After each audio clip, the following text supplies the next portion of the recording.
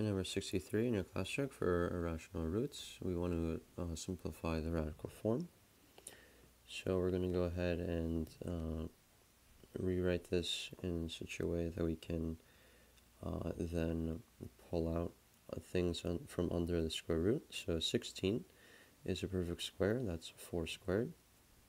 Uh, m to the 8th we can rewrite as m to the 4th uh, squared. And n to the 12th we can rewrite as to the 6th squared when we pull out a 2 from the exponent.